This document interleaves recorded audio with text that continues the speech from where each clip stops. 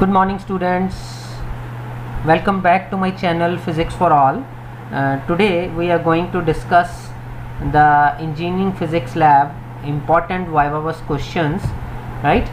So these important viva voce questions starting from the uh, first experiment that is to find impedance of LCR circuit right? So first question is define impedance. And that is the, it is resistance offered by the LCR circuit. Second important question is why capacitor blocks direct current? Because as frequency of the direct current is zero so capacitive reactance becomes infinite right? Third is when does the circuit becomes inductive in nature right? Inductance is greater than capacitance and resistance so circuit becomes inductive in nature right? Next what are units of impedance? The unit of impedance is ohms then what is wattless current? The current which does not consume any power in an AC circuit is called wattless current. Sixth question is what is reactance? Reactance it is the effective resistance offered by an inductance or capacitance to the flow of AC current right? Next question is differentiate between resistance and impedance.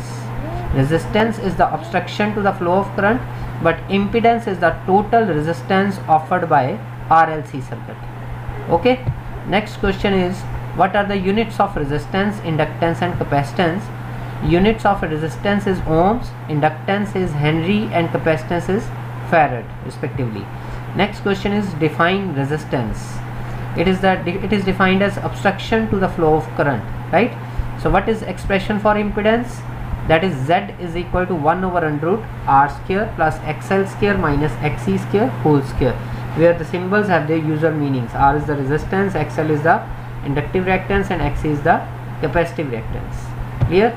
Next experiment is to find vi characteristics of the pn junction diode or to find voltage current characteristics of pn junction diode. So first question is what is a diode?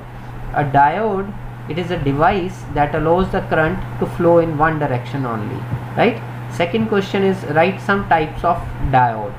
First is p-n junction diode zener diode light emitting diode photodiode etc next question is what do you mean by biasing? Applying external field to the diode is called biasing. Next is what are the types of biasing? So there are two types of biasing forward biasing and reverse biasing next is define least count. It is the smallest division of an instrument which can be recorded right? Next question is what is knee voltage? The voltage at which the current rises suddenly is called knee voltage. Clear? Next seventh question is what is p-n junction diode? When p-type semiconductor is connected to n-type semiconductor p-n junction diode is formed right? So what is forward biasing when the p side of the diode is connected to the positive terminal of the battery and vice versa it is called forward biasing right? Give some examples of semiconductor. So examples are silicon and germanium semiconductors. Next question is what are semiconductors? Semiconductors are those materials whose conductivity lies between conductors and insulators right? So next experiment to find voltage regulating characteristics of zener diode so first question is what is a Zener diode? A Zener diode is a reverse biased diode which is used for voltage regulating characteristics. Okay. Next question draw the symbol for Zener diode. So this is the symbol for Zener diode. Okay. So triangle shaped structure along with the S type that is attached to it. Next question is draw voltage regulating characteristics of the Zener diode so this is the voltage regulating characteristics along x-axis that is input voltage along y-axis there is a voltage and the graph is is a peak as shown in the diagram. Okay we will further continue with this same experiment that is to find voltage regulating characteristics of the zener diode. So next fourth question is define breakdown voltage that is the forward voltage at which the current through the junction starts increasing rapidly that is called knee voltage or cut-in voltage right so next fifth question, why is Zener diode used in reverse bias in majority of the circuits?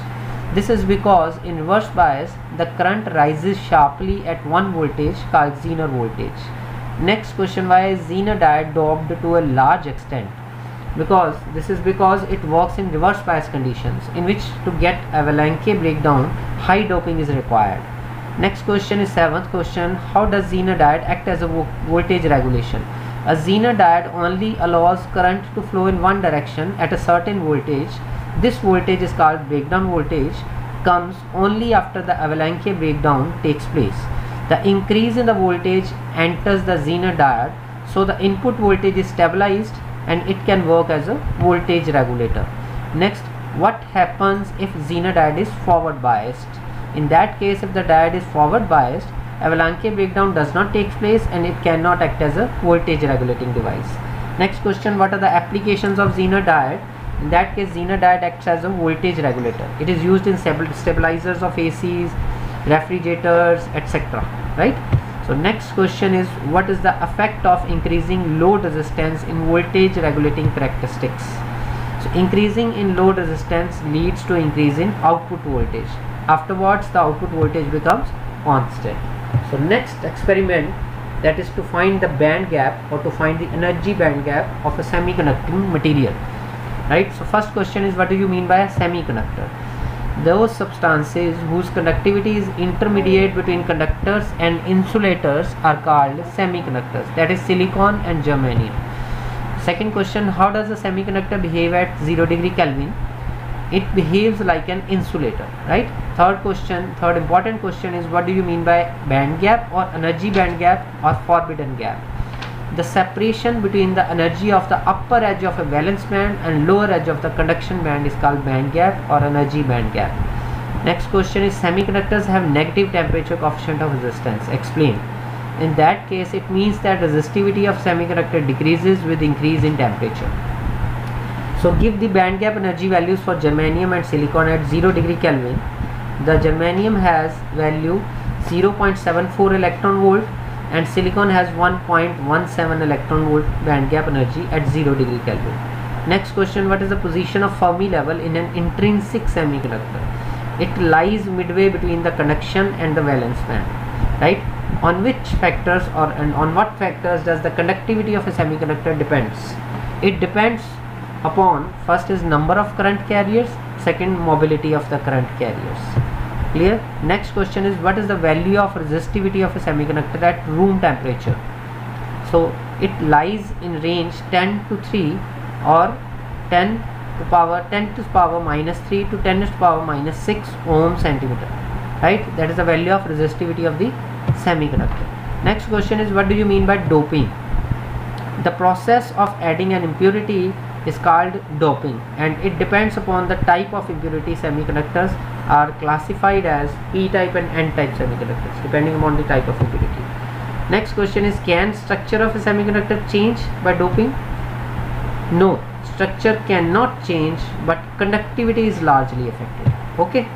So next experiment is to find attenuation losses in an optical fiber or to find uh, the attenuation losses of an optical fiber uh, or you can say dispersion losses.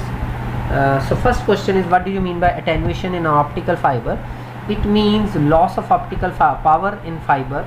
It is the ratio of the output power to optical power input fed to the fiber. Next question is what are different losses that takes place in an optical fiber? So first uh, loss is material absorption scattering mode coupling leakage bending core and cladding losses. Okay? Next question how do you express losses? They are expressed in decibels per kilometer. Okay? Next question is what do you mean by leaky modes? So the losses due to leaky modes arise due to irregularities in the waveguide geometry right? Next question which material is used in the present day communication grade fiber? Silica based fibers are generally used second is crosstalk possible in optical fiber? There is no possibility of crosstalk between an because uh, there is not it's not possible because an optical fiber is made of silica which is non-conductive and non-radiative. Right next question is what idea numerical aperture give? It is a measure of light gathering ability of an optical fiber. Right? So again the definition of numerical aperture is it is a light gathering ability of an optical fiber. Next question does high temperature damage the fibers? Fibers are resistive to high temperatures because silica has high melting point. Next question what are the attractive features of optical fiber? First is low signal loss high bandwidth non-conductive in nature light in weight. These are the some of the features of an optical fiber next question which principle is involved in the optical fiber communication system? It is based on the principle of total internal reflection. So viva voce questions related to rest of the experiments i will continue in the next video. Thank you very much